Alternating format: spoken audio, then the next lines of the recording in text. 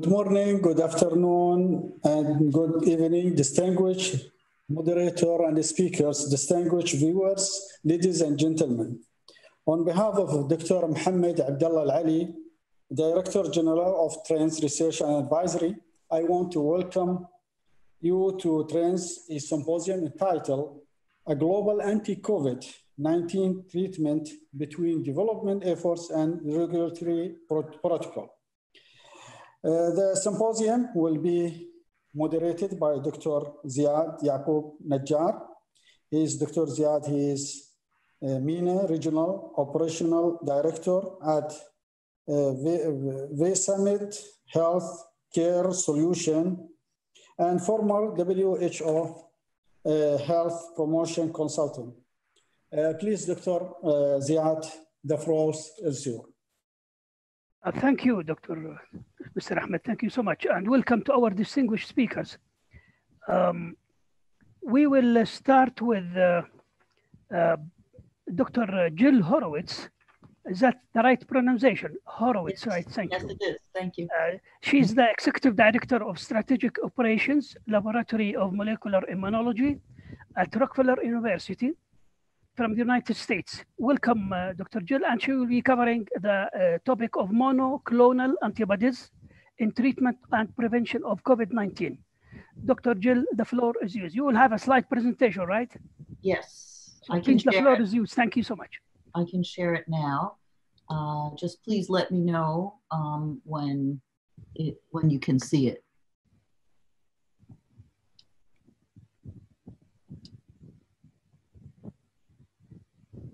Yeah. You can see it? Yes. Okay, Yeah. perfect, terrific. So Thank you you. have you have 20 minutes, and I Mhm. will give you a hint when uh, your time is over. Okay, great. Thank, Thank you, you. so much. Uh, so I, I want to uh, tell you how exciting it is for me to represent Rockefeller University at this symposium and how excited we are. You know, as always, um, science is one of the one of the very few topics where international and global cooperation is really very real. And so we are extremely excited to be participating today. So thank you. I'll tell you a little bit about myself. Um, I uh, got my PhD from Albert Einstein College of Medicine in New York and had a career um, in, at the, in the government before I moved into industry. I was a reviewer at the um, product reviewer at the US FDA, so I know something about how um, pharmaceuticals are brought to market. Uh, and then moved moved over to the National Institutes of Health, uh, where I worked on grants and contracts in the program office. And uh, when my family moved back to New York, I started my almost 20 year career in industry, where I worked for Wyeth Vaccines um, in uh, respiratory vaccines, then for Novartis in respiratory drugs, and then when Novartis went into the vaccines business, worked again in vaccines uh, then for Pfizer supporting oncology, uh, and eventually moved to the Bill and Melinda Gates Foundation, um, also in the area of vaccines. And at that point, uh, was working on HIV prevention um, uh, modalities, and was introduced to the group here at the Rockefeller. And the reason I'm telling you this is uh, is not only that I moved over to the Rockefeller full time, but because the project that I worked on at the Rockefeller uh, became very relevant to COVID. And uh, so I'll tell you a little bit about the science, and I think you'll see why I'm describing this to you. Uh, people who are infected with a virus uh, recover because their Im- immune system recognizes the virus and makes, among other things, makes antibodies against the virus. And you may know that HIV is a very long term chronic infection. And you may not know that there are individuals who uh, can control their HIV without drugs. We call them uh, elite controllers, and it takes their immune system several years to develop antibodies that can control the virus as it mutates when, when this was understood, a number of investigators all over the world sought to isolate these special antibodies and to find out if they can be used as a treatment, potentially a cure, and also a prevention for HIV.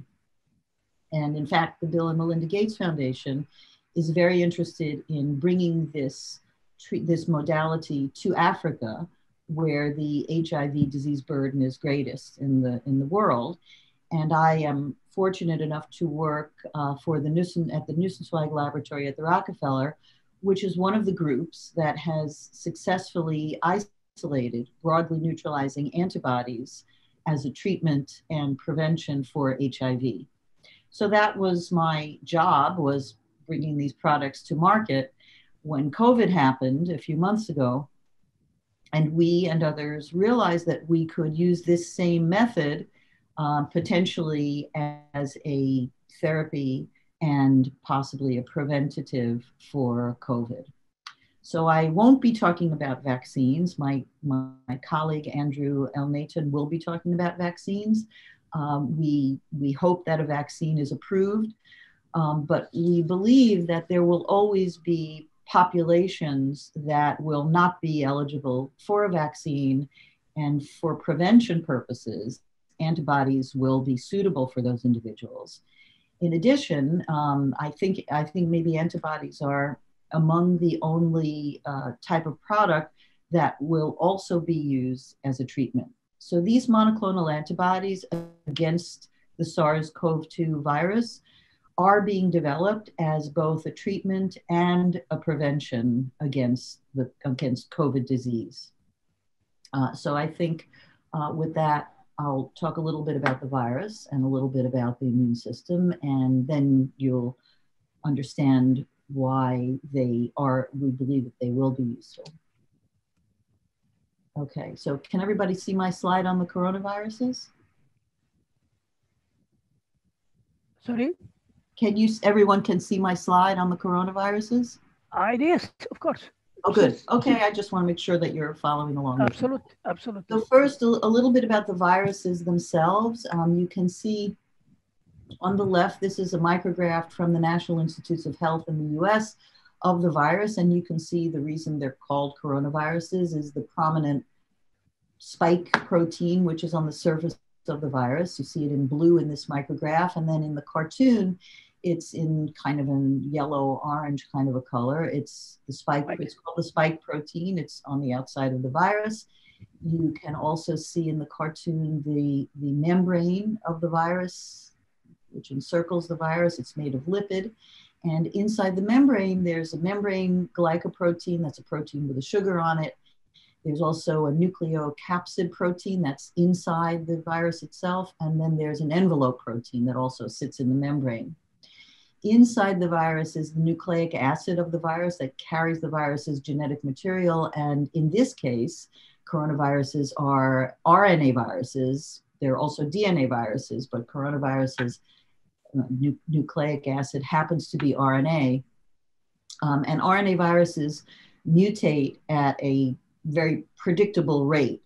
So you can see um, on the right side the evolution of these viruses, which were which were first defined in the literature in 1965, but are you know probably thousands of years old. You can see that the current virus that we're talking about, which is in lineage B, um, it's not SARS-CoV, it's SARS-CoV-2, which was not yet defined at the time that this review was written in the earlier part of 2019 you can see that SARS is related to MERS and related to a number of the other coronaviruses. These alpha coronaviruses here cause the human cold.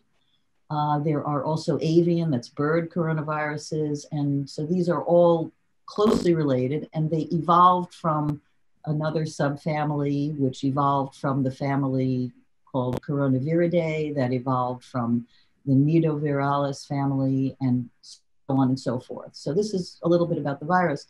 And the one, the other thing you can, I would like you to notice on the cartoon is this, this thing here, which is an antibody. So these are, this is a cartoon of how the antibody recognizes the spike protein on the surface of the coronavirus. And as I said, uh, people make antibodies in response to foreign uh, invaders like viruses and bacteria, and that's how we get better is by activating our immune system. So a little bit more about the spike protein because that's what all of the uh, all of the vaccines and all of the of all of the antibodies are directed against. And the reason for that is you can see on the right here, this is the three-dimensional structure of the spike protein. And it's not just the spike protein, it's also its receptor. So this green uh, human ACE2 uh, three-dimensional structure protein on the right, on the upper right here, that protein exists, it's part of our normal biology. It exists on many of our cells. It exists in our um, cells in our, on our respiratory tract. Um, interestingly, um, it also is on the outside of our endothelial cells, and those are the cells that line our, uh, our blood vessels. And this may be the reason why many people who have COVID have uh, symptoms that are reflected in their um, both in their heart muscle but also in their vessels we, they get strokes they get clots and, and that may be because this spike protein that's shown here in gold um, the, the, the, the receptor binding domain of the spike is in gold you know recognizes this receptor binds very tightly in fact it binds 10 times more tightly then SARS binds to its receptor. And I think that maybe my personal feeling is that maybe one of the reasons why people can get so sick from this from this virus. So as I said, this is a three-dimensional structure of the SARS-CoV spike protein. Um, you can see a lot of the protein here in purple. And what's, what's in gray behind it um, are two other spike proteins because the spike protein exists as a trimer um, on the on the surface of, of cells. And it has to be trimerized in order to in order to recognize its receptor. So this is kind of how it looks in three-dimensional space. This is a cartoon of how one monomer of the spike protein looks. This is the front end. This is the back end. And it's about on 1000 300 amino acids long, it's not very long. Um, it, this is the receptor binding domain around the middle. And so it binds to the receptor. And then there's a hinge, what we call a hinge here, because the protein actually is bent over and, and, and, and there, this is a hinge. It can exist in an up or a down um, um, structure. And when the when it binds to the receptor, it actually gets cleaved at this hinge and this S1 attachment gets left behind, but the S2 part of the protein sort of you know allows the the viral membrane to bind with the cell membrane and shoots the rest of the virus into cells. That's how the virus gets inside of cells.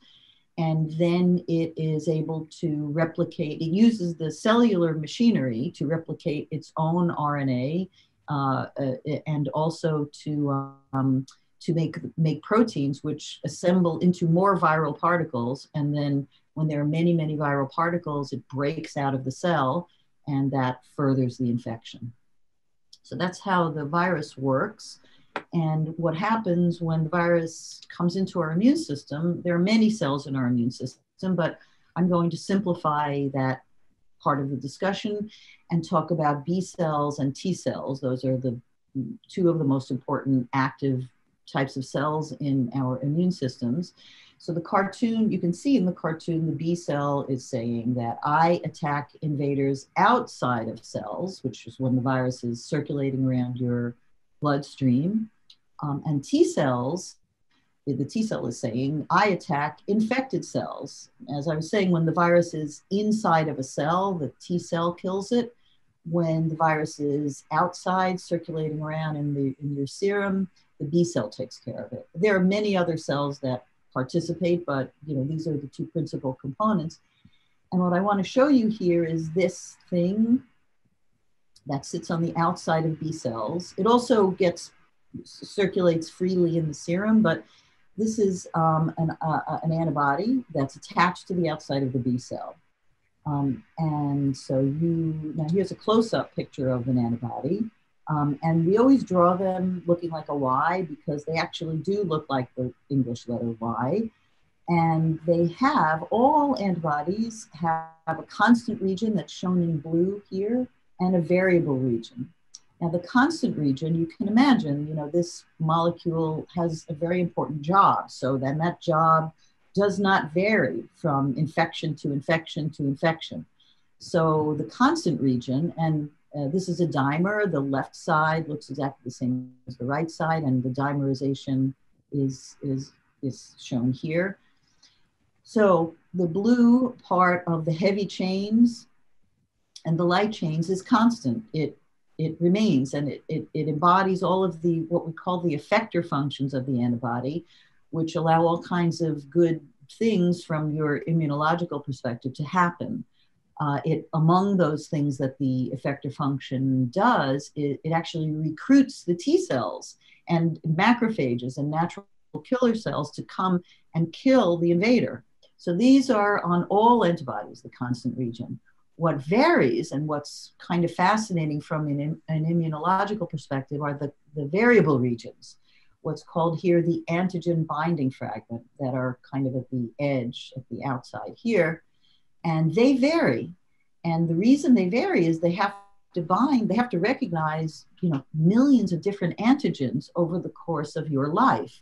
So in this picture, in this cartoon here, this blue antigen, you can see that it, the shape of it fits the antigen binding fragment on the antibody. But you can also see down here in this little picture that there's lots of different antigens. You know, every different antigen, every different virus, every different bacterium um, is has a different three-dimensional structure, and so it's recognized by an antigen binding fragment that is specific for that antigen. So you might ask yourself, you know, how does that happen? Um, and I'm going to go into that a little bit because in order to understand the product, you need to understand that. Um, so uh, I'm going to go back to the structure of a B cell, another cartoon of a B cell, um, and showing again these, these antibodies are bound to the surface of the B cell. Well, how do they get to recognize all of the different uh, antigens that come in? So that happens in a place in your body called the germinal center, which are within your lymph organs, your lymph nodes, your spleen, where B cells proliferate, they differentiate, and they actually mutate their genes. And that's, I think, something that's a little bit hard to grasp because usually we learn and we're told our whole lives that all of your G, all of your DNA in every cell in your whole body is the same. And that's true except for your immune cells. So how does that work? Uh, you, you make these naive, what we call naive B cells. They're circulating throughout your body. They go into your lymph nodes and then they expand, right? One, one cell gives rise to lots of other cells, but importantly, during that expansion, they undergo this what's called somatic hypermutation. Somatic means that it's not, not the kind of um, genetic change that occurs in your sex organs, but rather somatic means the whole rest of your body, anywhere that's not in your ovaries, you know, if you're a woman, is somatic. So, you know, these cells are shuffling their DNA into, you know, thousands of different configurations.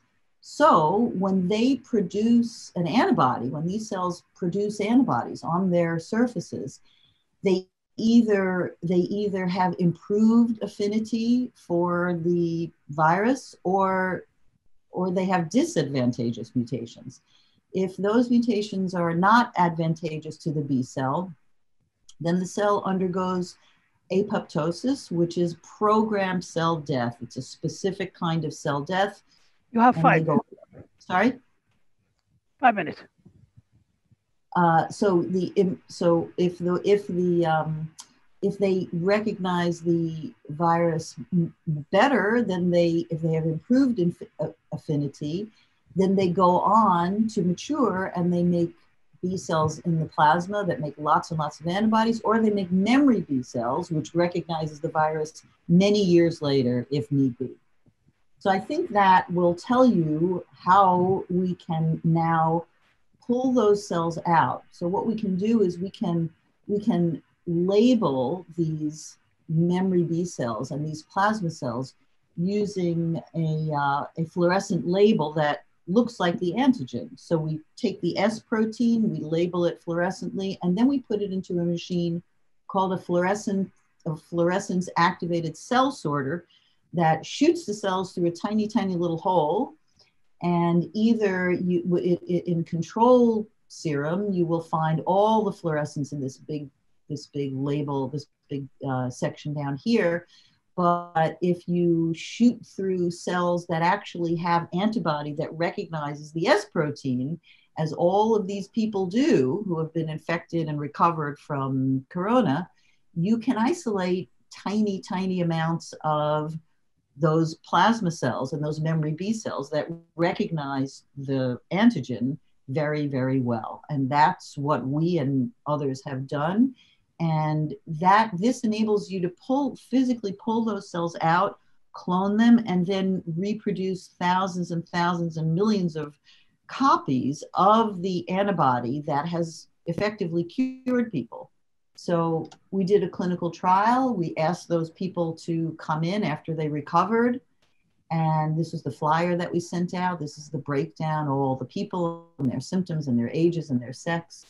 And uh, this is uh, talk, this shows about the, shows the antibodies that we were able to isolate.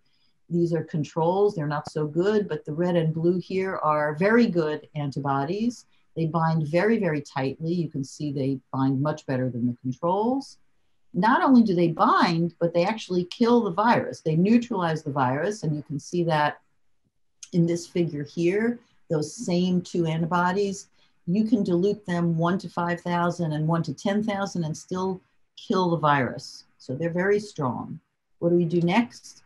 We start we start uh, we start to bring them into the clinic, and uh, so what we do is we take the ones with strong neutralizing activity, we put them into animal models like a mouse model where they work very well, and a monkey model where those studies are still in progress, and at the same time, we make sure that they are very pure and very safe.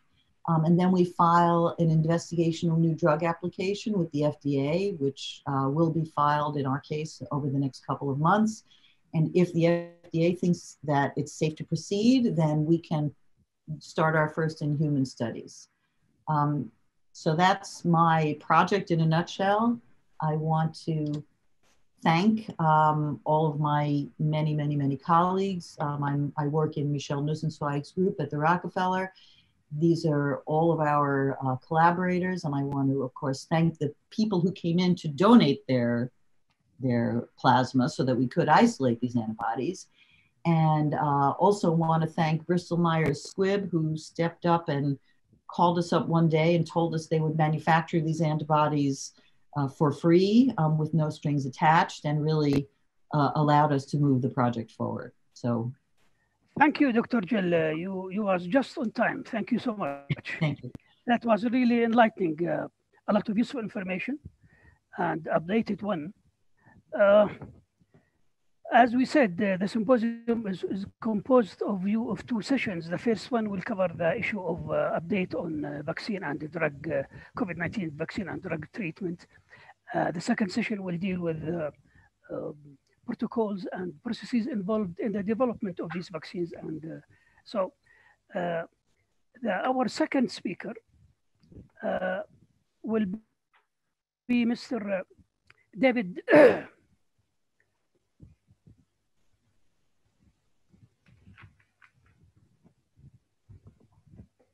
sorry. Okay, Mr. David Zigdon, CEO, MIGVAX, Migal Galilee Research Institute, Israel. Welcome uh, to this uh, uh, symposium, and uh, you will be covering the issue of uh, uh, COVID-19 oral subunit vaccine. So the floor is yours. Please, 20 minutes, and I will tell you when your time is up. Thank you. Oh, uh, Thank you very much. مساء الخير أشوفكم إلى هذه المناسبة الفضيلة أكون معكم في هذا المؤتمر. Uh, my name is uh, David Zigdon and I am the CEO of Migal and the interim CEO of uh, Migvax. I have a strong background in the high-tech industry, biomed, biotech, and the, the pharma startup industry. Before I joined Migal, I was the CEO and the president of, uh, of RAD Biomed, an Israeli-based evergreen family fund that invests in early-stage biomed startup uh, companies that I have founded. Companies that I founded uh, have a value in uh, access to uh, $2 billion. So uh, Migal, uh, Migal is a multidisciplinary applied research institute located in the north part of Israel, uh, very close to the border in Lebanon. We have we have non-profit institute. We have about 41 researchers with 300 employees. in most of about 100 PhD. Uh, the discipline that we are uh, doing here is uh, plant science, and nutrition, biotechnology, soil, water, environment, and we have two service units in the post-harvest innovation center and North R&D that work with the agricultural very, very close. So Based on uh, extensive work in developing an oral uh, subunit vaccine for uh, IBV, which is avian uh, coronavirus, Migal designed the vaccine, actually designed the system that can be adapted rapidly to virus mutation. Migal has the opportunity to use this method to develop a, a COVID-19 vaccine. Migal established a fully owned subsidiary called Migvax Ltd and gave Migvax an exclusive worldwide license to develop, manufacture, and commercialize vaccine for human and uh, viruses. So uh, as you can see, the researchers are uh, interdisciplinary uh, vaccine development team, which has uh, extensive long-term experience in avian subunit vaccine taking them from the idea to commercial success, and uh, they have already two vaccines in the market. The management team is uh, also, and the consultant uh, bring with them decades of experience in all aspects of human vaccine development, production, clinical, and uh, business. So uh, the question, will the chicken save the immunity uh, from COVID-19? So I'm going to talk about uh, uh, the subunit vaccine that we developed, that is active vaccine, and one slide about the passive immune vaccine that uh, actually Dr. Horowitz started to talk, that we are going to use a IgY, which is antibody from chicken. So uh, how all this story started. So four years ago, uh, with significant funding by the Israeli Ministry of Agriculture, we established a national center of excellence for viral vaccine. The center designed a subunit vaccine system that can be adapted rapidly to virus mutation. And as part of the project, Migal researchers developed a new oral subunit vaccine for IBV and avian coronavirus. In addition to IBV vaccine, we are currently working on other vaccines, influenza, Newcastle, and reovirus. As you can see here, the IBV, it's very similar to the SARS-CoV-19 from the S structure of the protein. And uh, based on this information, we started to, uh, to design and develop our uh, vaccine. So how our vaccine is built, uh, I'm not going to uh, repeat what uh, Dr. Horowitz told us tell, told us before, there is a spike and the, uh, there is a spike and we take part of the gene of the, the spike and fused it to a carrier. We take also a part of the new capsid, the N, the new capsid, uh, uh, the, the, this is the protein that the inside uh, of the virus and fuse it to a, a carrier. By the way, it's uh, not, it's not, the, these two carriers not fused, but it's the same carrier.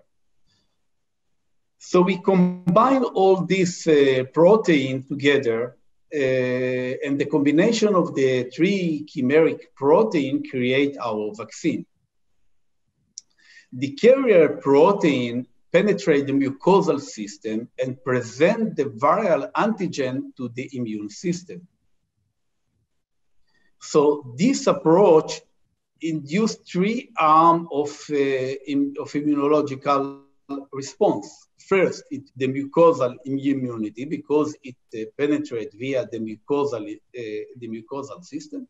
Second, the systemic immunity IgG that uh, most of, actually most of the vaccine in the world uh, uh, is, uh, is systemic immunity and also the cell-mediated immunity what, that we are doing by activated T cells. In the next few slides, I'm going to present you the uh, experiment that we have done uh, Uh, with, uh, with the uh, animals. And in this one, I told you about the experiment that before the COVID-19 showed up, we started with the IBV. So uh, the experiment done on chicken, which is, uh, they are not the animal model actually, the, they are the model. And uh, we gave to the chicken oral vaccine in day zero, after that in the day 21, and booster in day 30. On day 45, we uh, exposed the chicken to massive amount of uh, virus, of IBV virus. It's much massive that it could be, could uh, get from, uh, you know, from the regular uh, condition. And then after, in the, you know, in the professional, we call challenge, we challenge them with the IPV, and we measure, uh, we take samples uh, by swab uh, from the cloaca in Drachea, three days after the challenge, six days after the challenge, and 10 days after the challenge. And here is the results. I'm not going about all the bar, but uh, this is the control. And uh, this is the S1, actually, the most of the vaccine currently using S1. And this is our vaccine, the combination of the two protein with S1. As you can see here, uh, this is uh, the results of uh, viral shedding uh, of uh, viral shedding samples uh, SWOT taken from the both cloaca and trachea, measured by quantities in the PCR. The, and you, here you can see the antibody killed the viruses. So from S1, after three days, there is, and the, by the way, this is a, a, log bar. After three days, there are almost the same as the control group. You know, there is a massive viral uh, in the cloaca and the trachea. And you see uh, about uh, one log decrease in day six and dramatically decrease on day 10. However, if you look at our vaccine, this combination, after three days, you see almost reduction of two logs.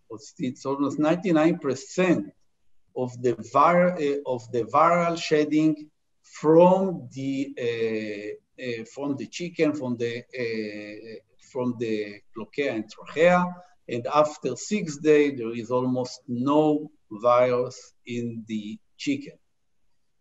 The next slide, we show the, uh, the amount of the, the, the, actually the percentage of the chicken positive to viruses. Uh, so, so, in the S alone, you see it's almost the same as the control after three days and after six, six days, like they get uh, no vaccine and dramatically decrease uh, in day 10. However, in our solution, after three days, you can see a 15% reduction. And after uh, six days, 77% uh, reduction. This is very important uh, uh, results because reduction in carrier of the chicken reflect the reduced spreading of the viruses in the community. And this is give us a lot of, uh, uh a lot of, uh, uh, we feel very comfortable, a lot of comfortable to go to human. So here you can see uh, the slide that we did some experiment in uh, mammals. As you, see, as you, as you know, uh, the, the, the, regulatory not accept any chicken. They uh, like to see mammals.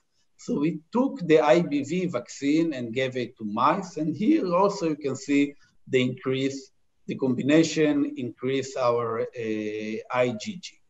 In the next slide, you, we measure the IgA so we wash uh, from the lung. So we wash the lung and we see the IgA. And it's very, very important to see in our vaccine the amount of IgA. When we took the S1 and subcutaneous to the mice, you see the level of the IgA. So our vaccine gives actually tremendous, it's really a high level, very high level uh, of IgA. Uh, which you are not seeing in a vaccine based on S1 only. So we continue our, uh, and this is, by the way, it's uh, this experiment is an ongoing experiment. We are uh, doing, uh, give oral COVID-19 vaccine to mice, and he's after the booster, 10 days after the booster, you see the level of the IgG, and 10, uh, 20 days after the booster, you see increase dramatically the level of IgG, and this is very, very important. As, as I said, this is very, very initial results. We don't have, a, this experiment is ongoing, and the next we like to see uh, what is the level of the IgG, if it's continue to increase the level of IgG, and uh, of course, we can check the level of IgA as we did uh, with the uh, uh IBV vaccine, but in order to do it, we have to sacrifice the mice. So uh, if I'd like to summarize this part, we are talking about uh, subunit oral vaccine, and for administration of oral, oral vaccine, it's much uh, easier to administer it. Then you know, especially when we are talking in, with development country, you don't need nurse to uh, give the oral subunit vaccine when you're talking uh, of children is uh, uh, also a, a very very good access to them to give them a, a oral vaccine. Uh, from the experiment that uh, we showed that it's very effective, uh, especially from, from the mucosal IgA and from the systemic IgG and from the cellular it's really relatively safe when you give uh, oral vaccine is uh, much safer. Uh, giving uh, three chimeric uh, protein uh, via oral, it's relatively safe. The, we are we are producing the vaccine in E. coli production, so E. coli production is well-known production and relatively a low cost. And um, what's more important, uh, as I uh, emphasized in the beginning, our vaccine based on um, uh, chemical uh, uh, computational uh, chemistry that we, when a mutation show up, it's really, really fast to adapt. And by, by the way, from the begin, from the day we started, we look at a lot, a lot, a lot of, of mutation of the COVID-19. And we, uh, at this point in time, we didn't uh, see that we have to adapt uh, our solution, our vaccine to the new mutation. Uh, so we also doing, and this is uh, exactly what uh, Dr. Horowitz said, we also doing a, a passive uh, immune system based on IgY. IgY is similar to IgG in human. So uh, just now, uh, the FDA approved treatment by antibody to, to human who infected by the virus. So uh, the current solution uh, for antibody uh, utilized human antibody or monoclonal antibody uh, relatively, it's uh, both uh, very expensive and we are coming with a solution and this is really, really in early, early stage. we are a solution based on IgY that IgY is uh, similar to IgG that extract from eggs yolk. So uh, the problem uh, in this case that antibody from animal uh, sources are limited by human immune response to animal antibody. So what uh, our scientists in Migal have developed a masking system, uh, a masking system, MBA, for IgY chicken antibody. And actually, we have done uh, some experiment in mammals. Uh, this, uh, my own, this is MBA can protect the IgY antibody from mammalian immune system. This may enable long-term PK of the injected IgY, uh, as well as uh, following multiply injection without causing any immune response. So advantage is, as I said, IgY you extract from egg yolk, and this is relatively uh, cheap. The cost per dose estimate at this point in time, and this is really, uh, as I said, in early stage, could be around between uh, 10 to 15 dollar per dose, as, uh, versus uh, thousands of dollar of the uh, current solutions. Uh, each egg can lay about one egg a day. Uh, with a human dose, we are estimated it will be 1.5 to 2 eggs, and this is still should be terminated. So we come again to the question, does or will the chicken save the humanity from COVID-19? Thank you very much uh, for listening. Well, Thank you so much for being on time. Thank you so much, uh, Mr. David. Um, that was really enlightening. I, I, I love this uh, three uh, immune responses. That was really very interesting, very interesting. Thank you so much. I think uh, uh, we will pass to our next speaker, uh, Dr. Melita Vujanovic um, she is uh, a WHO rep representative and head of country office at WHO Russian Federation. I think she is uh, she's here.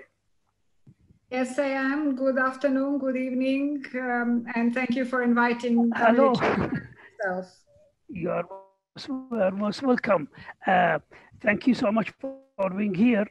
I think you are going to cover the a topic of the role of WHO diplomatic representatives as facilitators to regulators and manufacturers.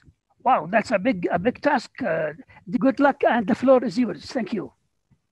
Uh, thank you so much. Uh, let me try to share my screen uh, with the presentation. Uh, we hope that it will be useful to actually present uh, the role of Hello. the World Health Organization uh, in uh, the entire uh, process. Could you, you give me just one second? I'm sorry. As usual, WHO has a number of uh, presentations on board. So, um, too many to handle. Yes, here we are. Yeah. Absolutely.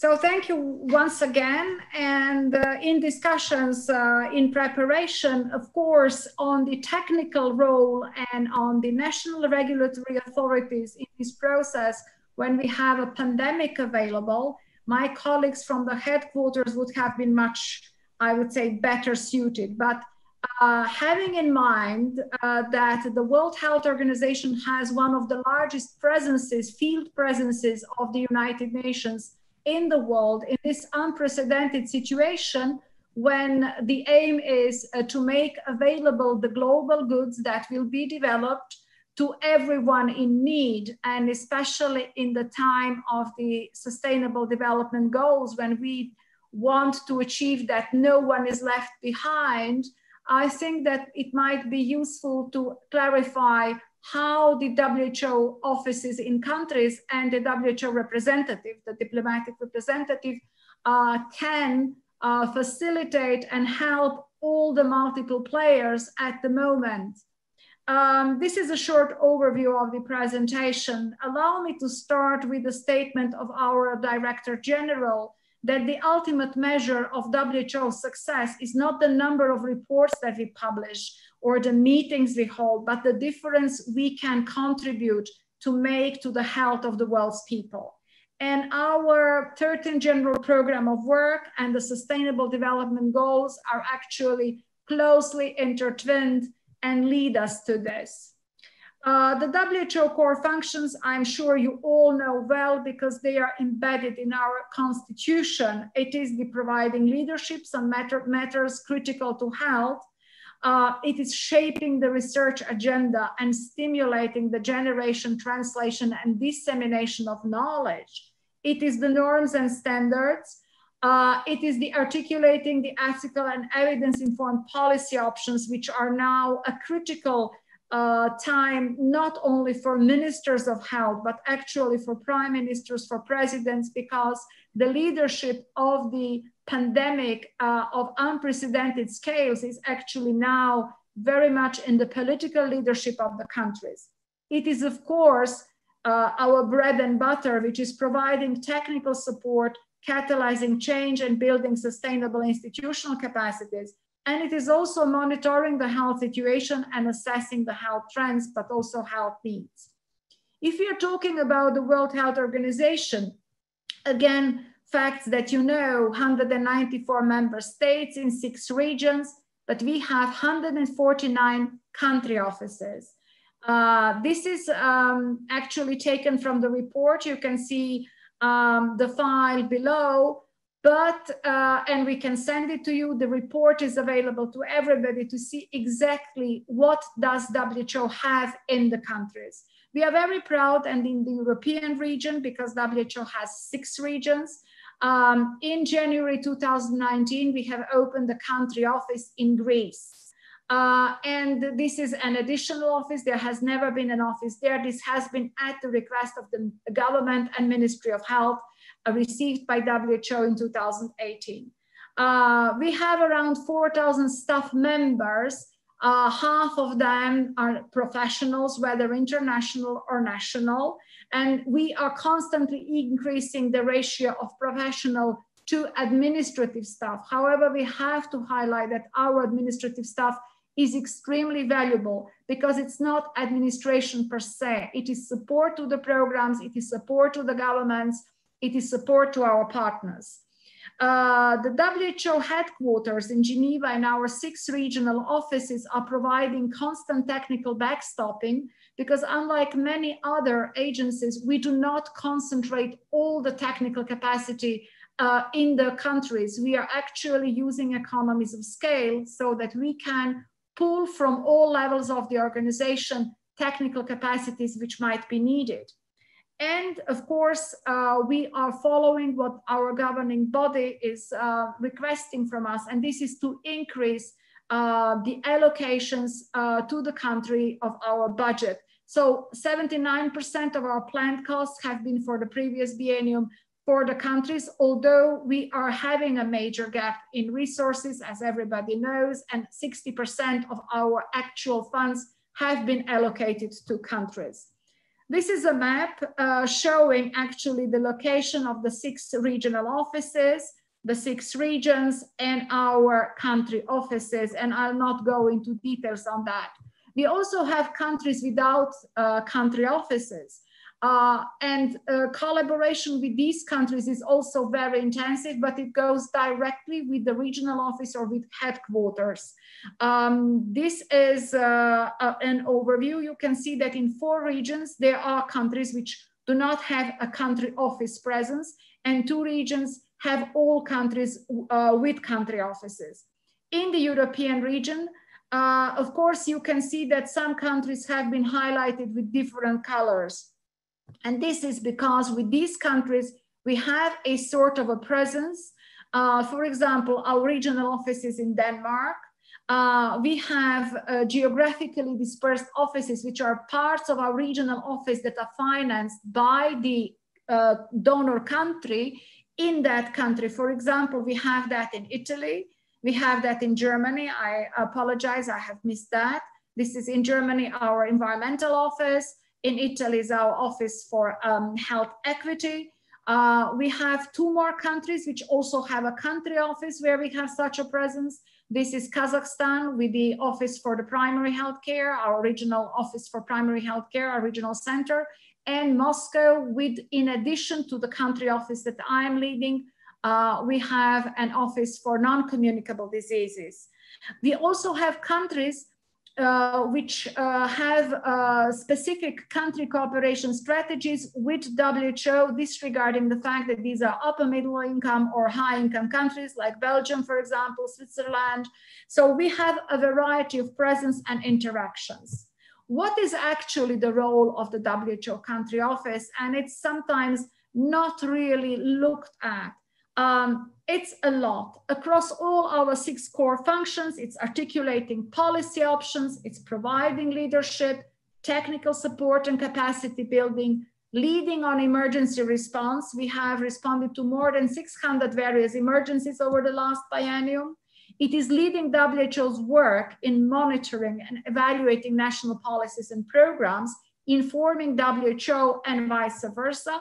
It's setting norms and standards and what would be the topic that we are now most interested in is what is the role of the country office in shaping the research agenda. It is definitely the promotion of research and strengthening research capacities in countries. Uh, and there is a lot of research going on at the moment. For example, our solidarity trial, which is happening in many countries, um, is, has the aim to provide the necessary information, evidence-based, uh, collected under one roof uh, to enable to distinguish which treatments will be most effective and make a difference in the COVID pandemic. Uh, we are, of course, now looking at the other solidarity trials for vaccines and for other things. It is also supporting and where appropriate conducting operational research. Uh, it is not uh, WHO doing it by itself. It is with a plethora of national partners and international partners, and often they are various consortia, uh, which are actually uh, supporting the countries either to enter the global health field or to easier exchange uh, various research initiatives. And as uh, an ultimate result, it is contributing to the body of knowledge on best practices. Uh, the 149 country offices are led by WHO representative, as I have indicated, the diplomatic representative, because we all are there with the agreement of the host government, but we are selected through a vigorous process of assessment centers, and we have various terms of serving in the countries. Uh, the WHO representative has two uh, supervisors or two superiors. It is uh, the regional director as the first level uh, supervisor, and actually we are directly appointed by the director general. Uh, we are the most senior WHO staff member at the country level with the delegation of authority to lead negotiations or to facilitate urgent diplomatic, technical, um, and other uh, collaboration. We are responsible for a number of issues. We have to deliver various policy, technical, political, diplomatic, managerial and advocacy roles. Uh, the offices are of various size, especially in various regions, and this is why it is very important that the WHO representative can easily and quickly mobilize support needed, whether it is from the headquarters or from the regional office. Of course, we also have interregional collaboration. However, uh, that is an area where we are trying uh, definitely to do more. Once you speak to a WHO representative, whether in the country where you are or another one, you are actually at the so-called one-stop shop where you are immediately having access to the cabinet of the director general because we report immediately and we follow up so that the countries that we serve or other countries that have approached us have a quick access uh, to the resources. Uh, during the uh, pandemic, um, as you know, the pandemic, actually the uh, public health emergency of international concern, let us go back to the international health regulations as the convention, the international treaty that is regulating all WHO work uh, in uh, such a, an emergency situation has been declared at the end of January 2020 um, immediately after the etiological agent uh, causing the new respiratory disease has been isolated and the first genomic sequence has been completed. Um, and immediately after that, scientific and academic institutions and manufacturers started to work together on the development of COVID-19 vaccines. Um, of course, this has been an unprecedented situation and unprecedented efforts by the World Health Organization and its partners to bring together all this knowledge and to speed up the development of the uh, vaccines, but not only vaccines, also of effective treatments, because unfortunately, uh, even uh, antiretrovirals or other medicines that have been available uh, for other diseases have never been tested on the new uh, disease. And this chronology of facts, where we have the public health emergency of international concern, and after that, research starting, is actually shaping the situation. And uh, the regulatory bodies are very much uh, actually looking at this new unprecedented situation because all the regulators in the work in the world are looking now at their legislation, at the regulation, and at WHO how this can be done. Um, basically we are guided by the global program of work, which is defining a lot of things, by the country cooperation strategies, um, and by biennial programs of work. And at this moment, when the pandemic hit in, I would like to give you a short account of the case study, how and what was the role in Russia and what are we doing actually. So while with the Russian Federation, the collaboration is primarily uh, collaboration, not technical support or assistance, because the country has graduated uh, as a program country um, earlier uh, in this century, in 2011. Uh, the presence of the World Health Organization is primarily to strengthen the country capacity for global and regional collaboration in health.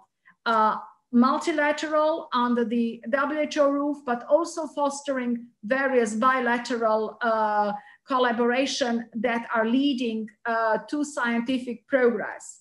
Uh, it is, of course, also looking at creating an environment conducive to health promotion, disease prevention, aiming at universal health coverage during life course, strengthening capacity for health security, and this is exactly the situation where we are in, and strengthening the health system performance, again, for universal health coverage. Why am I underlining universal health coverage? Because unless we manage to get the necessary medical products, uh, vaccines, other biologicals, medicines needed to uh, treat people uh, with COVID-19, uh, we have collectively failed because it's not only WHO as the secretariat, it's all of us together uh, living in these unprecedented times. So what has been the role um, since the pandemic start. Early on, actually, the office has started mapping the country research activities on vaccine, encouraging and facilitating information for the WHO landscaping. Uh, although Russian is a um, WHO and United Nations official language, sometimes when it comes to the technical cooperation, there are certain delays uh, or hesitancy by developers or producers. By constant daily um, contact with the Ministry of Health and with the National Regulatory Authority, uh, we have managed to encourage uh, as soon as possible the listing, the uploading of available uh, documentation, uh, information on where Russia is with its huge scientific potential in the development of various uh, technologies, uh, diagnostics, uh, vaccines, and therapeutics with regard to COVID.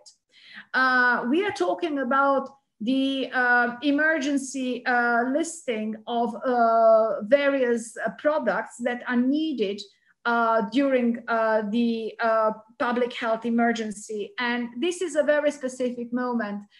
it happened several times in the past. If you remember, of course, the swine flu pandemic um, had uh, sort of launched uh, the EUL um, as a very important mechanism. Many regulators in the world, as you have uh, indicated in the scope and purpose of this uh, symposium, uh, are looking at specific situations, emergency situations where uh, products, medical products may be needed, having a shorter procedure uh, by being to become available to those in need while not uh, cutting on the uh, safety and efficiency considerations. If you're looking at the Russian Federation, one of the role of the country office and the representative is uh, to make sure that we have a full mapping of national legislation and regulations to inform the relevant departments in the World Health Organization Secretariat, whether it's the regional office or uh, headquarters, and by that, we know that in April, the government of Russia has uh, brought um, the decision that COVID-19 is considered an especially dangerous pathogen, which is then triggering the existing legislation and regulation on necessary um, measures uh, that include conditional licensing of eventual products, medical uh, products or biologicals, uh, with requirements that the research through the clinical trial is continued even if the product is made available for urgent uh, life-saving procedures.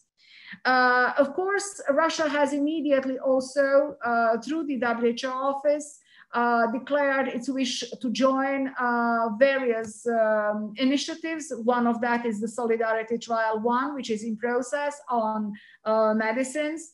Uh, it has informed WHO headquarters on the national protocols of treatment, the standard of treatment, uh, which has since uh, January actually gone through eight versions. it's including new and experimental treatments, including, including use of plasma, uh, of reconvalescence or other uh, treatments.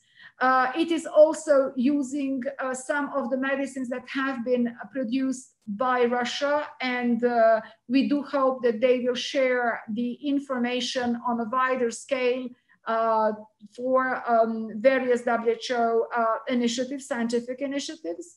It has facilitated technical discussions with various Russian experts on all uh, areas, including on registration for clinical trials. It has facilitated participation of Russia in WHO missions to support countries in response. Uh, to COVID, uh, for example, our mission to Tajikistan um, has been possible thanks uh, to support from the Russian Federation, both uh, in personnel, in transport, in laboratory uh, equipment, and laboratory experts. Uh, also, Russia has bilaterally provided a lot of support to various countries on response to COVID. Uh, and of course, what the role of the office has been, while we are so massively talking about vaccine and vaccination, uh, it is to monitor and to support the government in influencing the population uh, perception, attitude, and possible uptake of a new vaccine because five, we are five minutes five minutes please thank you yes all over the world uh, various uh, resistance to vaccines. Um, at the moment what russia has is 17 vaccines under development 10 are on the who landscape. Two vaccines have entered clinical trials. Um, one vaccine has conditional licensing, national conditional licensing under the pandemic regulations, and this is the so-called Sputnik 5 vaccine.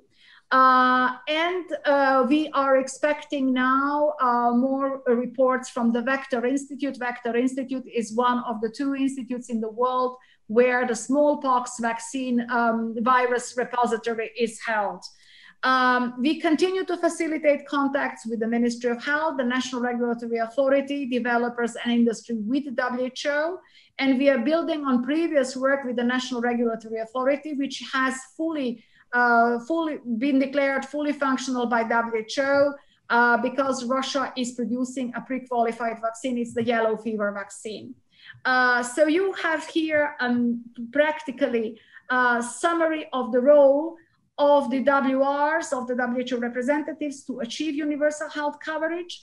But our main aim is leaving nobody behind. And this is why we are advocating and hoping also that the Russian Federation will also enter the COVAX and other WHO initiatives and mechanisms to ensure a fair distribution of the potential vaccine.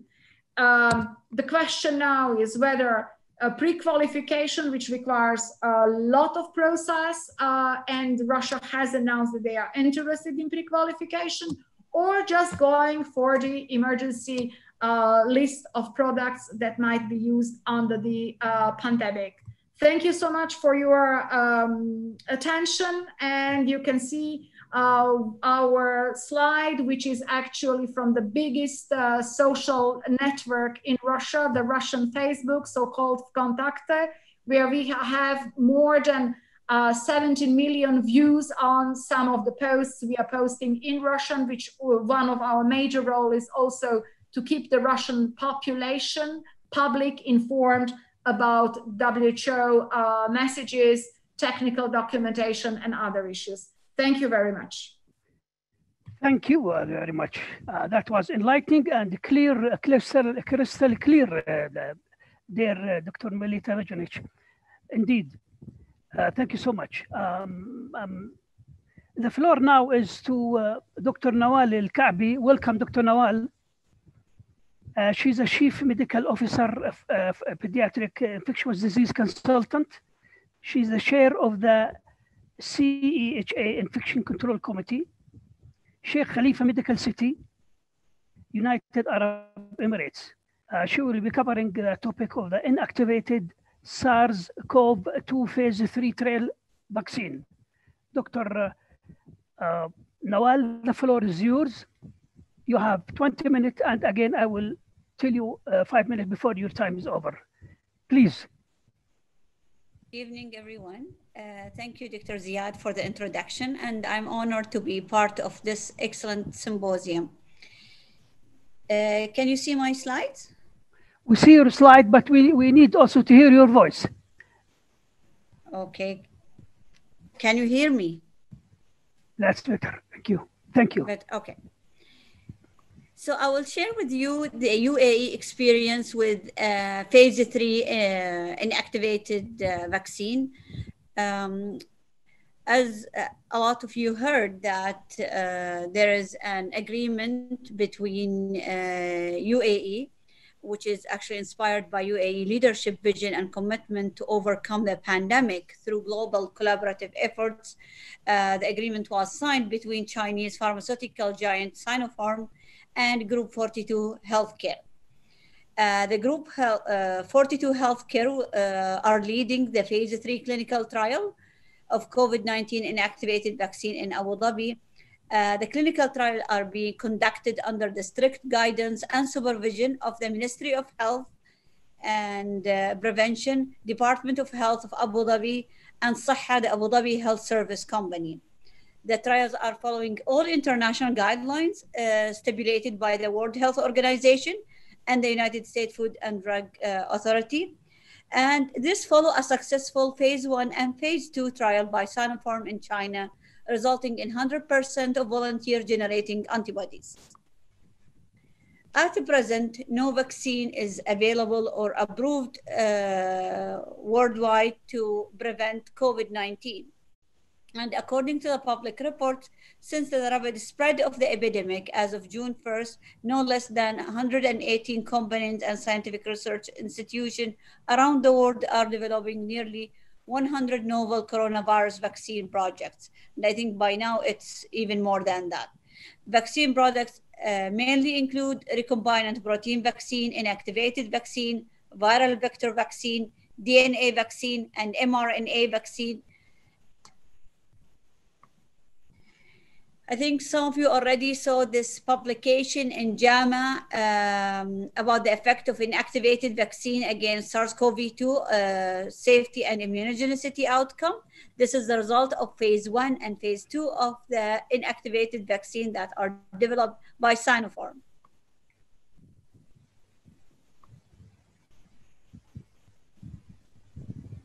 So uh, this is summarized. Uh, in phase one, there was 96 participants were assigned to one of the three doses group uh, versus placebo.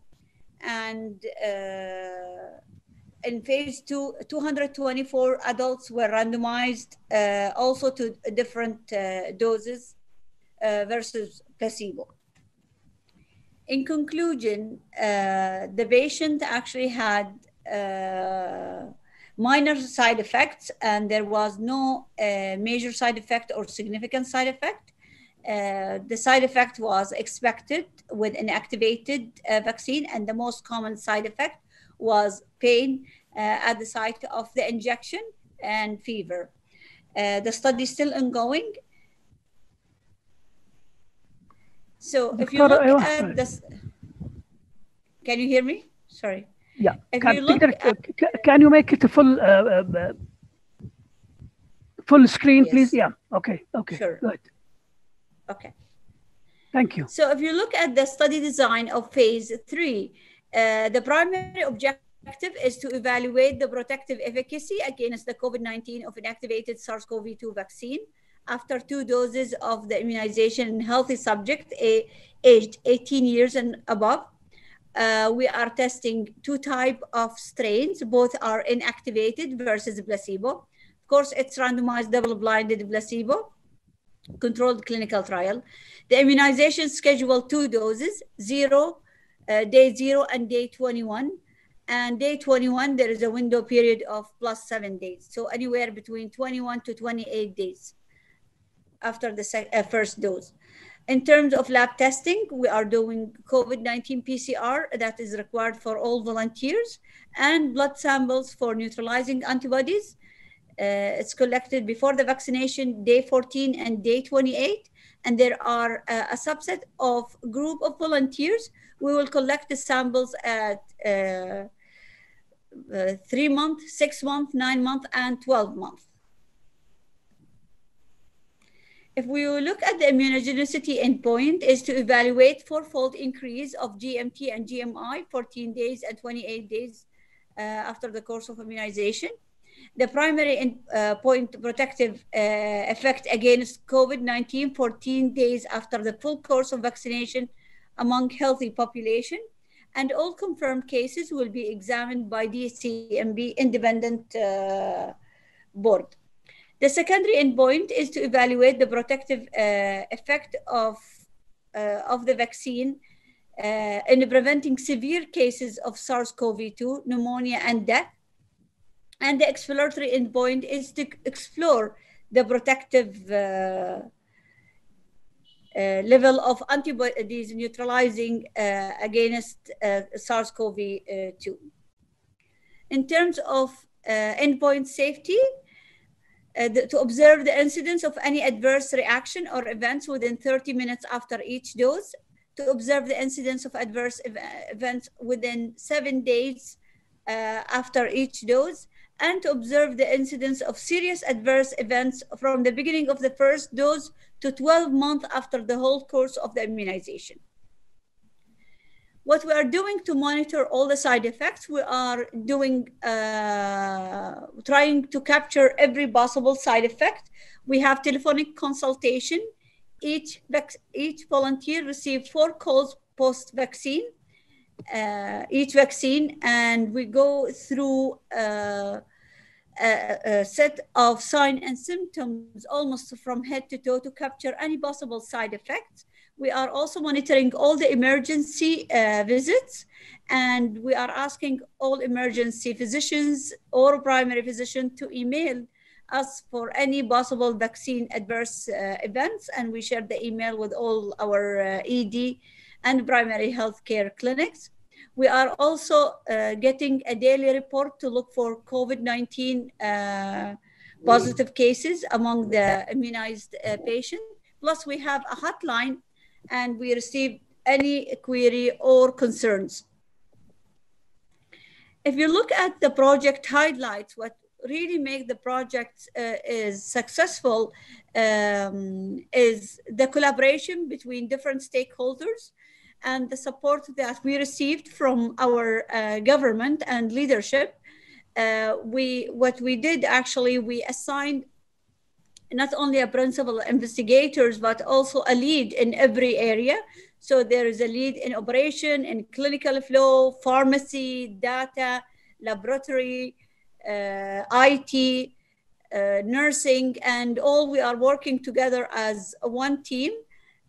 And uh, it really helped that having a lead and working together, um, we managed to open one of the largest site, clinical sites uh, in the Middle East and probably one of the largest in the world as we can see over a thousand, one to one, one to 2,000 per day uh, volunteers in ADNEC. And uh, we learned a lot during COVID uh, when we opened our field hospital and that was very helpful for us to establish a clinical uh, trial with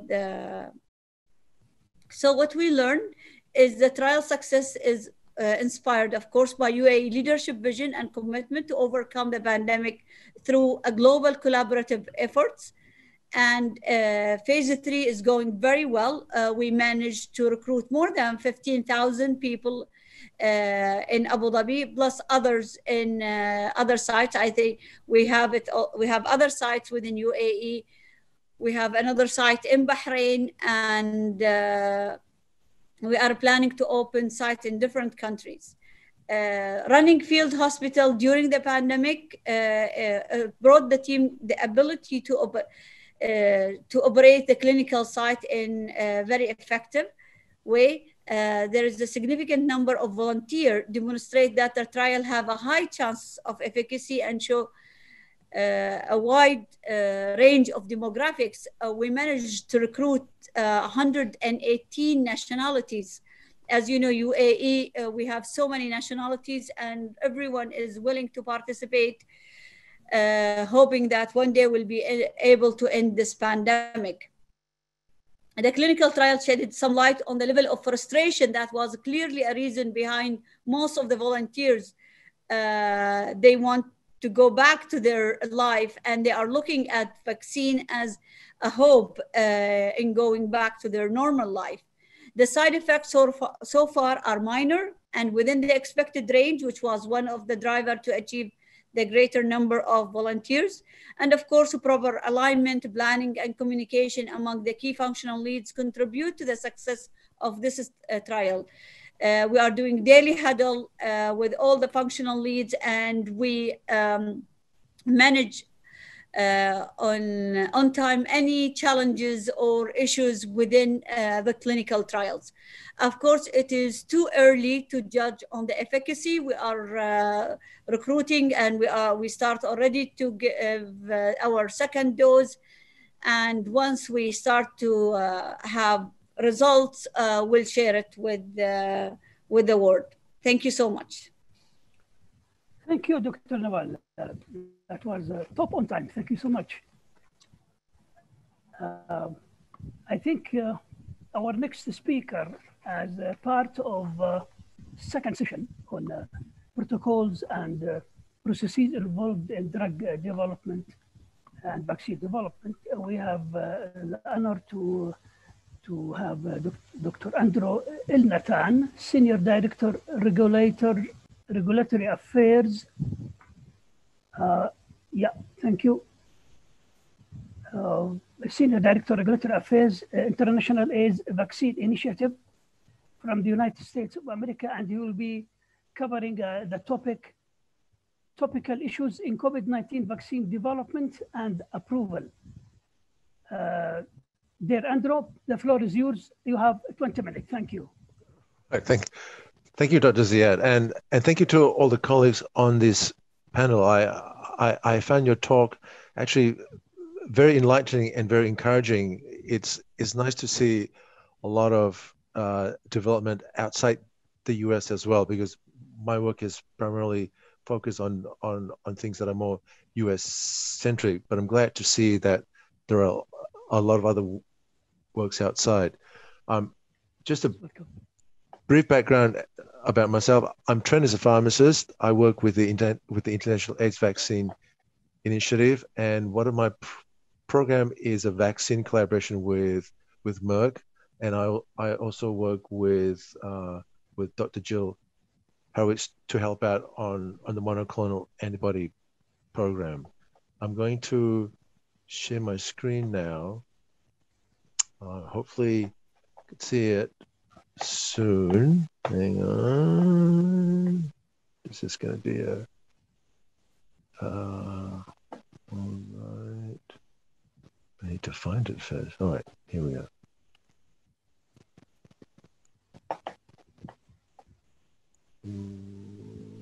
Let me just. Can you make it full screen, please? Thank you. Yes. Yeah. Is that better now? Yeah. Okay. Clear. Thank you so much. Okay. Firstly, just a quick disclosure, you know, um, because I was asked last minute, I'm, I'm not representing any company that I worked for or I'm working with, no any product or government. All the views I express are purely mine. And I, where possible, I try to source all my information from data and information that are already in the public domain. And you'll see that all my talks, all my presentations are, are linked and referenced. So if I pass these these slide set around to the organizers, you you can always click on the different links to to to read things yourself.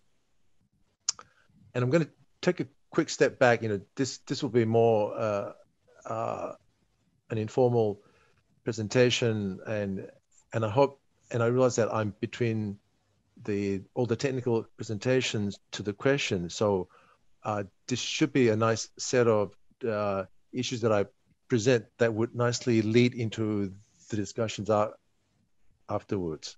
Um, so for those of us who still don't know what may be going on, you know, this this coronavirus is is actually a family of seven that could infect humans, and I've listed them there, four of which are uh, cause a common cold, and three of the recent, you know, pandemic, epidemic include SARS-CoV. The first one, the MERS-CoV, which is still in circulation in in um in in the Middle East, and of course our our recent pandemic with the SARS-CoV-2.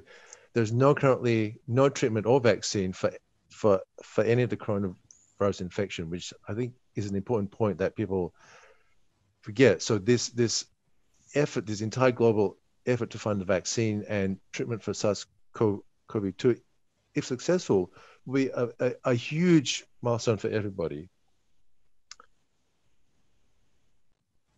Uh, we all know that SARS-CoV-2 use primarily the ACE2 receptor, and those those of us in the medical field know that the, that the ACE2 is part of the angiotensin renin um, pathway, which is responsible for vasoconstriction and vasodilatation.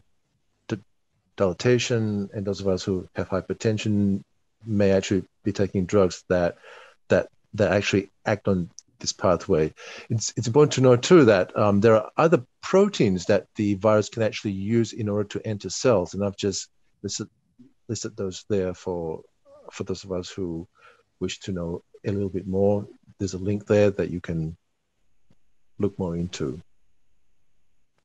And of course, a vaccine talk wouldn't really be a vaccine talk unless I go back to the origin of vaccination, which is uh, Dr. Jenner, who realized and discovered that um, if if you can if you can inject a, a related cousin of, of, of smallpox, which is cowpox, um, to, to, to a member of, of, of, of the public, you can induce immunity by the fact that um, that that the related uh, virus actually stimulates the immune response, but without the without the disadvantage of of the real virus causing the disease. And of course, the WHO uh, ran and led a very successful smallpox eradication campaign back in 1958 and was successfully eradicated in May 8th, 1980. Now, the significant fact of that is that it took 22 years um, while we're trying to hopefully eradicate the small uh, the the COVID-19 virus by you know within two years hopefully. Uh, Dr. Horowitz has had gone through this, so you know this is just just another cartoon representation of representation of the two adaptive immune responses that are needed in order for uh, any vaccine to be relatively successful. Um, one note here is is I want to point out, you know, that that the the older people, usually those above 60 year old, may have this condition called immunosenescence, where their immune system isn't as good.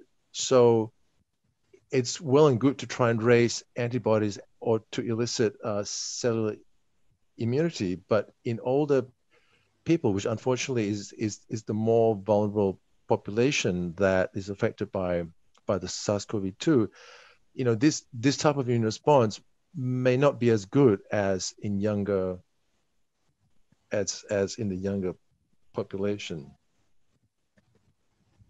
Now, developing ch- vaccines can be extremely challenging, um, and the examples here that I f- found, unfortunately, you know, affect children, but you know, which which we all love and dear, and which which we all dearly love, but it highlights sort of the issues that that that that um sort of keep some people awake at night when they're developing vaccines against COVID-19.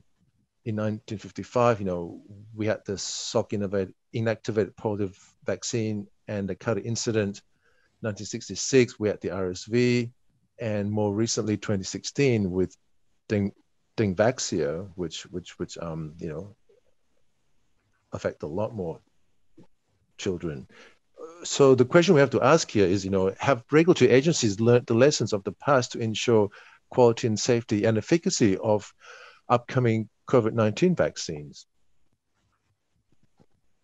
Well, the FDA has certainly con- considered this, and they they've um, produced a very well-known gui- guidance now, which which I think is sort of the template for a lot of other regulatory agencies back in June 2020. And there they have mandated, you know, a lot of criteria and recommendation on on how a phase three should be done. Now, the emphasis currently is to try and collect scientific data and clinical data from a phase three that's robust enough to lead to approval, even before issuing an, an emergency use authorization.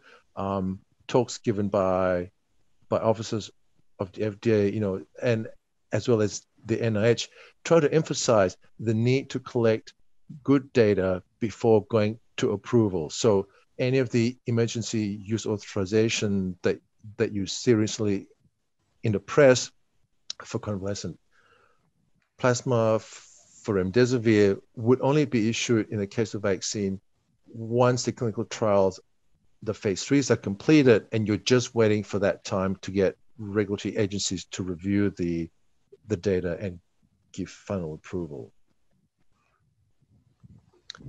Um, and as other colleagues have said on on this panel, there are a lot of cooperation going on between the FDA, the EMA, the WHO, as well as a lot of other regulators to to try and agree on what a phase three, what what data would be required to um, to to lead to approval.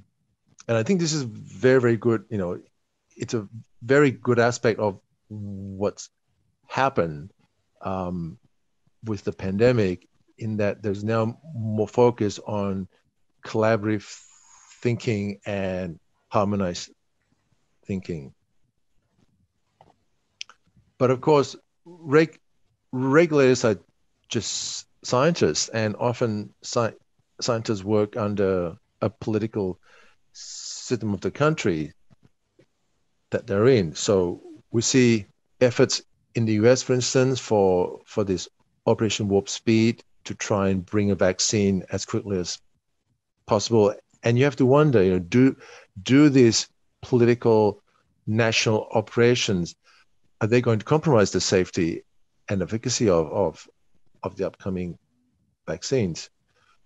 We know that um, the head of CBER, um, Peter Marks, this this was back in back in June, but I think recently he has also made, made a categorical remark that if if he if he was forced or if there was forced to approve a vaccine uh, earlier than when the data is ready, he he will have no choice but to resign just to, just to signal that he has no confidence in the process or the data.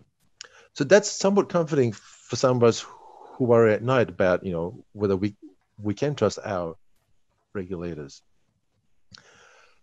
Back in June, when I was creating some of this talk, there was already news about Russia trying to find a COVID nineteen vaccine by you know sooner than later. So there was already some you know concern around that.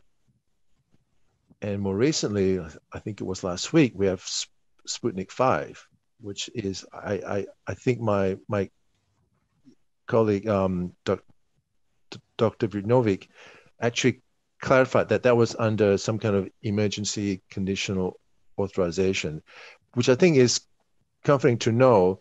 Um, and even on the Sputnik 5 website here, the, there's a little blurb saying that Russia is to begin the COVID 19 vaccine trials on 40,000 people next week. Um, so you know this this would be something that the FDA would not do, but we can see that that's just within the US. So other countries ob- obviously can and and has adopted a slightly different approach. And of course, a lot of the talk around town is that um, you know how how how good is this vaccine and and and and if the data from I guess in the phase one and phase two can can really be trusted because nobody has seen that data outside of Russia.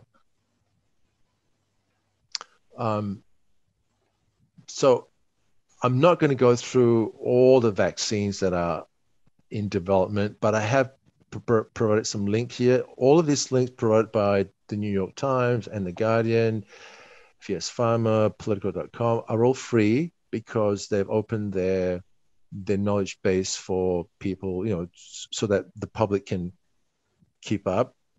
Um, so I encourage you to to try and read those if you want the latest on where where the different vaccines are. But back in July, when I was looking through the data, I, and I haven't included the the the Sinopharm data that that that um my colleague from from from the UAE has just talked about. But if you look at the the four current uh, uh, the four leading vaccines, the data from their early trials, you can see that it's pretty good so far. So I think there are encouraging signs that that that the vaccine, you know, sh- we should be quite close to vaccine approval, or or or at least the data that that that would indicate that we have an efficacious vaccine.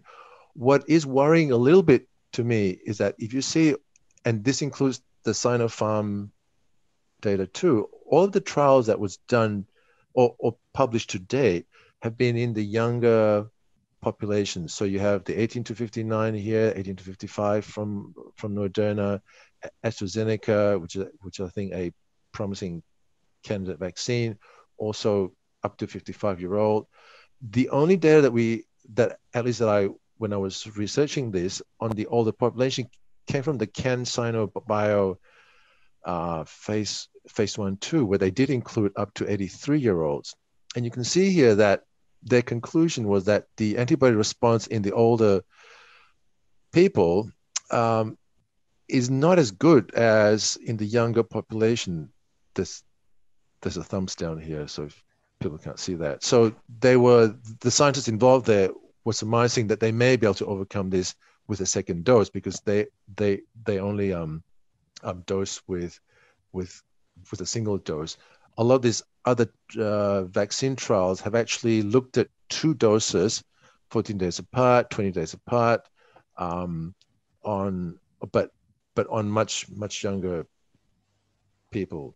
So I think I believe most of the phase threes that are underway will will include um, older than 60 year old. So hopefully we will be able to get data out of them.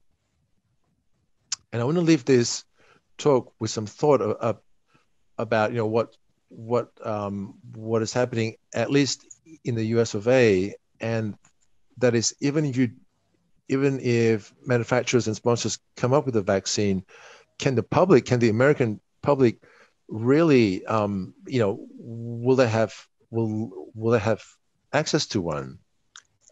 And there's an there's an article in the Atlantic that talks about the problem with you know shortages of of of syringes, short, short shortages of needles, vials, you know, and and as well as questionable problems in the distribution of the vaccine, given that the administration in the U.S.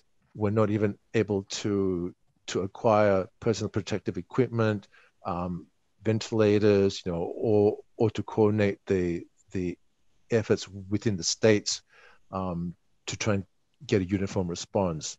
And and I think these are very valid questions, and I'm and I do like that. Uh, Dr. Zigdon presented his work, his company's work on an oral vaccine because I think that will, you know, if that were to work, that would certainly be very fa- favorable towards um, this issue of of whether other shortages will affect the availability of a vaccine. Um, and it's such a concern that um, you know this this whole thing about access that that the U.S. Congress actually held a held a hearing back in July, um, you know, encouraging I guess all of the CEOs in the um, in the big pharma world all pledged that they will be selling their vaccines at no profit. So uh, AstraZeneca, Moderna, J&J, and Pfizer all all all said that they would try to sell their vaccine at reduced cost or with no profit. But um, five minutes, please. Thank you. Yes, and I think there's still some skepticism around that. And lastly, you know, even if you can get a vaccine available, you know, one of the things that are happening in America is some of the surveys show that maybe uh, just 50% of Americans to maybe up to, you know, um, 50 to 70 percent would actually get a vaccine, even if it was available and made, you know, made available for free. So there's some some interesting problems to overcome over here. All right, so that's so that ends my talk. And okay. I look forward to discussion and questions. Yes, thank you so much. Uh, that was really enlightening and uh, comprehensive. Thank you so much. Uh, we appreciate uh, the input of all uh, our distinguished speakers. We come uh, to the end of our symposium. We have plenty of questions from the floor. I think we will start, if you don't mind, uh, we will start with Dr. Uh, Melita. They are hitting WHO with many questions, so I will start with uh, Does COVAX Global Vaccine Facility, managed by WHO, which has both the largest and most diverse COVID-19 vaccine portfolio in the world, has the pivotal role in advancement of vaccine research and do the major players in the world are part of it. Does the WHO has that power? Uh, WHO Secretariat and the Director General have reached out to various partners who are in the COVAX. And for the moment, we have uh, responses from more than 170 countries interested to be in the COVAX.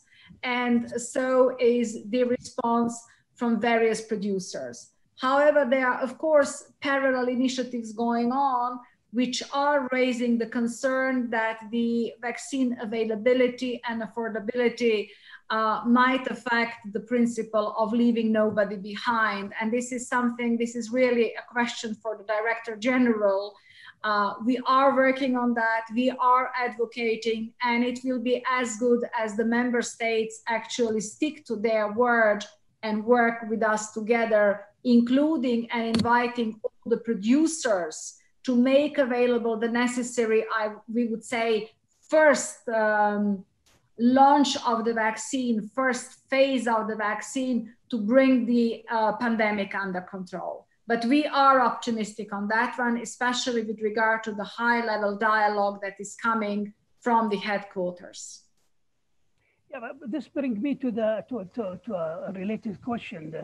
as there is no international body to police the distribution of vaccine doses once we got the vaccine this or next year, who is going to be in charge of delivering and distributing billions of vaccines in a way that is fair, equitable, simple, does not require refrigeration, and it could be administered in places where they don't have a real robust health system infrastructure. Can you elaborate on that, please? Indeed, another $1 million question. Uh, but uh, depoliticizing and bringing solidarity into the uh, whole situation will be critical. WHO is not a police force, it's not the Security Council.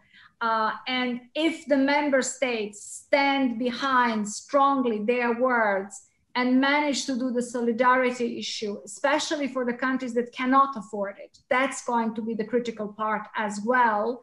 Uh, also, looking at the uh, overall capacity, the unprecedented uh, effort to bring all the researchers sort of to a common pool, whatever a common pool would need, uh, and estimating the capacity of the production will be critical. Uh, because the vaccines might be coming in at a different stage and who is going to be first who is going to be first in the countries how the countries will do that is going to be a critical thing again something that the director general is now trying to negotiate at the highest level and thank you for the question because coming from me again directly as i said to the regional directors of EMRO and EURO and to the director general will be a critical question. Thank you so much. Uh, I will leave you in peace with with the last question. What is the risk? You are much requested, so you have a popularity among our viewers. What is the risk that a bidding war between governments for a vaccine supplies will mean that rich countries win and the poor lose? It's related to the question. Uh, let me speak on my own behalf at the moment and not on behalf of WHO. But being in the World Health Organization for 25 years and in the United Nations, starting with peacekeeping for, um, forces um, a bit longer than that, I am an incurable optimist. And I do believe that the World Health Organization and uh, the UN will stand strong with those who need support, and this is, these are the poor. And I do believe that we are going to hear very strongly in the governing bodies uh, the issue because that might really break our world if we go for that one. And I do hope we have mechanisms, joint solidarity mechanisms, uh, standing strongly and advocating. This is part of the work of every WHO representative at the moment to talk to the governments um, and to make sure that we handle this pandemic together. The costs, economic costs, are huge at the moment of the COVID response. Everybody is aware of that. But if we would not have the response, if everybody would just let it go as it is, it would be even more costly because the health systems would break down as we have seen in many places. So this is uh, the moment for a new reality. This is not Aldous Huxley time. We have to think beyond that. It has to be a brave new world, but not according to his lines, but according to the Shakespeare's lines. So um, we will work on that one strongly with you, I hope, and with trends. Good luck for you that really. That was a crystal clear and very useful. Thank you, doctor. I appreciate that. Uh, I will just, uh, just uh, have another question to uh, uh, Mr. David. Uh, a lot of people are talking about phase one, phase two, phase three. You know, for the common people, we need to enlighten what is the vaccine testing process. Can you elaborate on that quickly and briefly, if you don't mind? Phase one is what? Preclinical is what? What's phase two? What does it have? Sometimes we hear it has 10 people, 100 people, 1,000. So all that makes really a lot of confusion. Can you enlighten that, please? You put on Sorry. your, your Yeah, yeah. your- Sorry, sorry. Okay, so I like to do it very fast. Uh, now we are uh, talking about fast track, fast track in, in, in, in vaccine. It's not in regular process that uh, we are facing. So uh, uh, in uh, preclinical, you are doing experiment with mice, usually in mice or, or big species like monkeys. But at this point in time, after you show, and this is the regulation uh, from the EU and the WHO, if you show safety and efficacy with uh, mice, you can go to first uh, in human, also for safety and get and as as the usual vaccine giving to healthy people. So uh, phase one is called phase one two because you give it also to healthy people. You like to see the antibody, the gain of the antibody in one end. On the other end, you like to see the safety. And uh, in the fast track, after uh, uh, for uh, after a few months, as you can go to phase two, three, and this is most of the most of the company does. Phase two, three is much more people. Uh, usually the size of phase one, uh, uh, phase one, two depend on the group that you like to use, depend on the age of the people that you are going to, to have. And usually it's conducted by statistic, by uh, statistic people. They are uh, choosing the size of the group. Usually it could be between uh, 180 to 200 people. This is a good size that can give you good indication about the efficacy and about the safety. Phase two, three, it's much uh, higher. And also it depends on the results that other uh, company uh, does. So preclinical, we are talking about animal. Clinical trial is usually human. Uh, you try to give it to healthy human. Phase one, two, it's usually healthy human with no risk. Phase two, three, it's uh, much, uh, the population is much bigger and they are not only healthy human, you, it's not limited to age, you have to give it to people older than uh, 55, etc. So this is, you know, in one leg to explain about what we are doing. But also I have to say that it's very, very important. At the end of the day, you're giving vaccine to healthy people. Not to uh, people who are sick. And uh, you should be very, very careful. And it doesn't matter, you know, what is the regulation and what is the WHO and the FDA say. At the end of the day, you are a manager of company. You take the responsibility, and you have at the end of the day to uh, to sleep good. So we are as a person taking very, very carefully all the state and uh, we like, you know, to be sure before we are entering to human, to be sure that everything is fine and is okay. Thank you. that were very short and simple, but deep and, and, and very useful. Thank you, David. Um, I will, uh, uh, there is a question for our uh, beloved Andrew. The Sputnik vaccine has created a lot of attention uh, from media and uh, from critiques.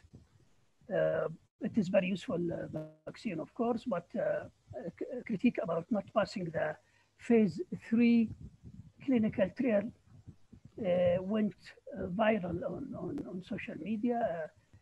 Uh, uh, was that part of uh, international competition? why the um, much politicization for this vaccine? Yeah, I, I, I think um, I think Melita could have some views to this too, but I I believe, given that that even the name was called Sputnik Five, somebody from outside uh, Russia, so we need you.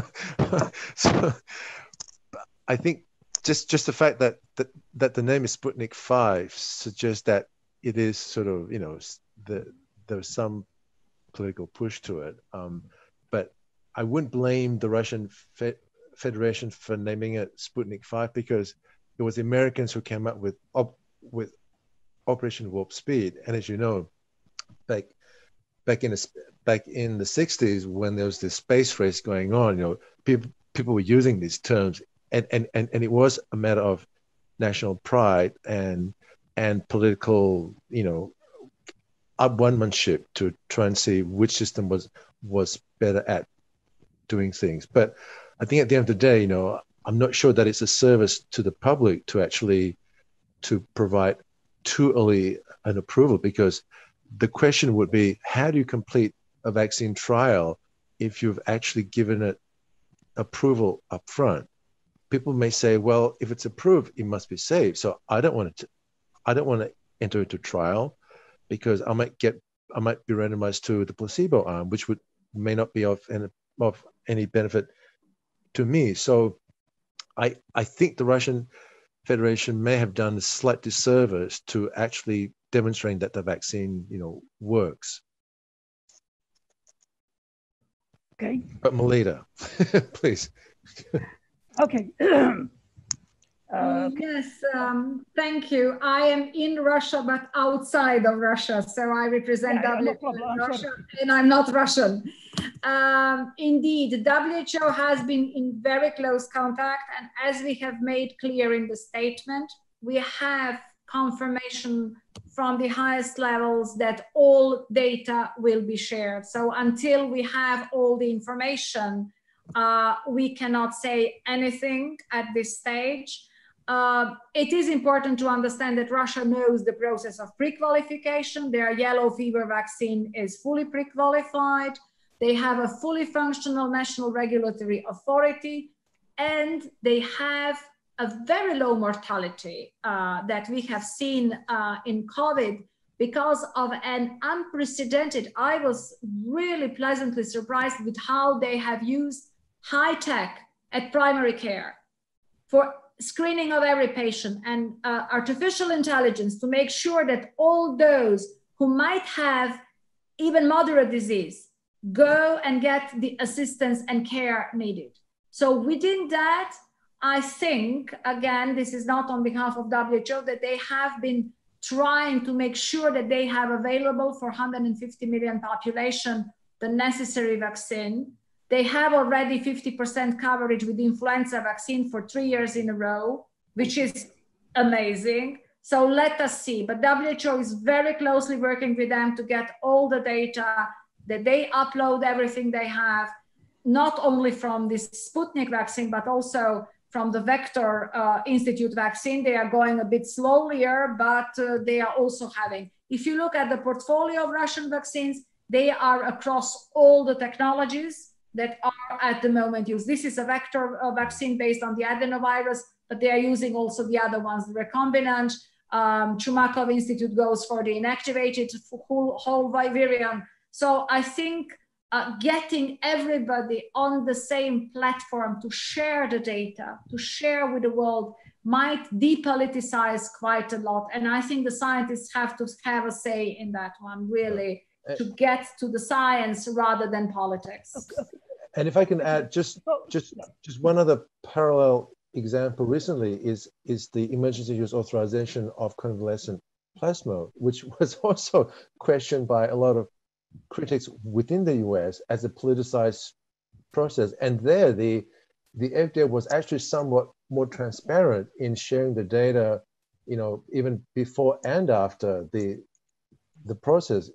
The agency wanted to actually uh, give the emergency use authorization. The NIH stepped in and said, maybe you shouldn't because, you know, we don't really have strong data. And in a few days later, the, uh, the FDA, well, President Trump announced that there was emergency use authorization, you know, so that, you know, we're kind of in the same boat as what happened with the Sputnik 5 in some ways. Yes, I think this uh, confusion about a lot of uh, vaccines and drugs, the same for hydroxychloroquine, uh, there is a lot of confusion. That brings me to the last question to our uh, Dr. Jill Horowitz. Uh, the vaccine I'm quoting, a vaccine in 12 months is, is a, a, fake news. And they cited HIV, hepatitis B, and other drugs that until now we don't have vaccine for. So are you going to really give us this, uh, uh this uh, vaccine? How truth are there? And then he said, you have to take care of the vaccine conspiracy theory uh, everybody now is talking about uh, this. It, it, it, it, went really viral that there will be an enforced vaccination. Uh, Mr. Bill Gates was the target of these rumors. They question his reason why he is investing a lot of money in this vaccine. They even suspected that he wants to implant, implant a chip in people through COVID-19 vaccine to check people health and control them. So Dr. Uh, uh, Jill is there any truth in these vaccine conspiracy theories? And if, if we can uh, give a question for everybody, who is behind them? Is it or not a symptom of a crisis of trust? Well, I'll start with your last statement that yes, it is in fact a symptom of the crisis of trust. And I think, you know, that's really what we need to work on as a scientific community and as scientific educators is you know to really listen to the public and partner with the public um, to you know to dissipate the distrust and i, I can give you a, a recent example of um, what happened here in the us and, and in particular in new york city um, where within the last couple of years, um, the Orthodox Jewish community um, in, in and around New York City was targeted by the anti-vaccination movement. Um, you know, for for reasons um, partly, I, I, think partly because this is a community that is you know very um, very much deliberately not in touch with the rest of society and therefore in many ways easier to target. And so information was given to the community that undermined trust in vaccines especially for children and babies. And the rates of um, vaccination against measles mumps and rubella dropped precipitously in this community and children and babies got sick and there was a real concern you know there are individuals in, who, who cannot get mmr because it's a live vaccine and so they these individuals who are adults and are very often um, sick adults they depend upon herd immunity in order to prevent the diseases from circulating in the community. So there are people who um, cannot be vaccinated, and they depend upon those who can be vaccinated. Among those are healthy, normal children and babies. So, in a population um, that where you know where vaccination drops beyond a certain level, uh, not only do do the the vaccinees, potential vaccinees, get sick, but also um, people who really depend on herd immunity get sick and often have very severe adverse rea- adverse events related to the acquisition of these diseases. And this became um, a, a, known problem in the New York City area. And the way that it was addressed, and it was actually addressed successfully, was uh, there were a number of members of the Orthodox community who worked in the health professions.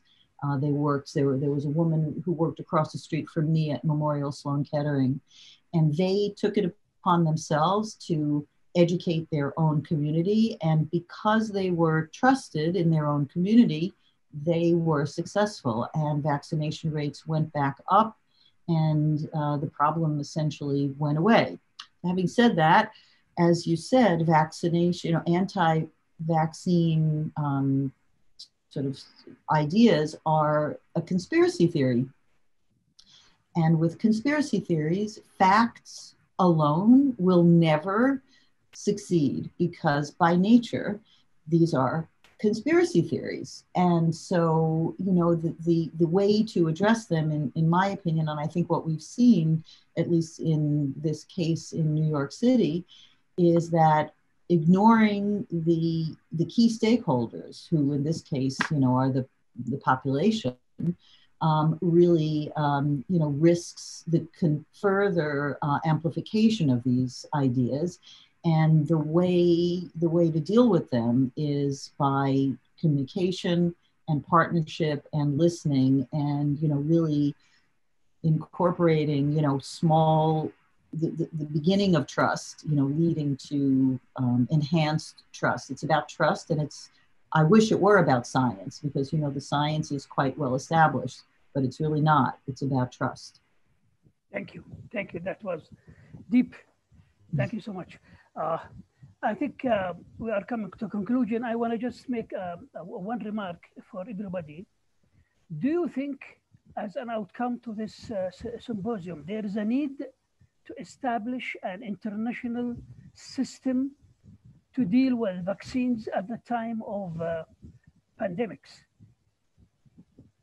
One international system, because I think the country here is going to launch this initiative you know, I'll, I'll speak first because my mute my mute is off right now. my mute is off. Yeah. You know, I agree that that it's necessary. I think it's difficult to achieve. I think one one way of getting there um, is that a lot of these companies that we're talking about, the big vaccine makers, are all they are based in a particular country, but they're global. They're global companies. They have to be. So they need to consider the global situation. Thank you, uh, David. What do you think?